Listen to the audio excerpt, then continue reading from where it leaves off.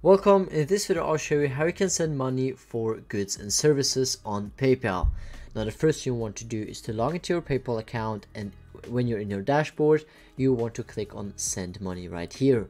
If you don't see this option, you can also click on pay and get paid in the top navigation bar and under the section make payments, you can click on send money. Then you'll be redirected to this new page and here you can either enter in a name, username, PayPal email address or a mobile phone number to send money or to add the recipient and then you can click on next. I will select a contact who I've sent money to previously already and then you'll get to this page where you can add the amount. Here you can also change the currency, so I could for example change this to USD and now we have two options. You can either send money in your own currency and you can see what the recipient gets or you can also change your currency to USD and then it will be just sent in USD. Here you can also add a, a message. So for example, if this is a payment for to your friend or so, you can add um, the like a description to this payment here.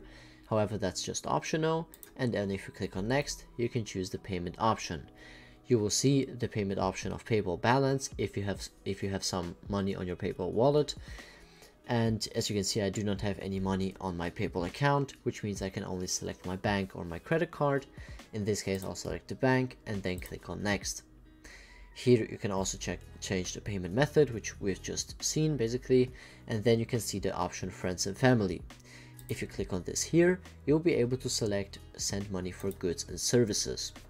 In some countries you cannot send any um, payments uh, through friends and family anyway so that that way you will then want to click on uh, send money for goods and services and then click on continue.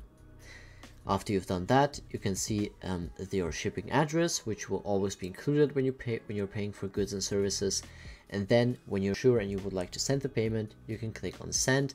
And then you have successfully sent a payment on PayPal through or for goods and services. If this video was helpful, make sure to like the video and thank you for watching.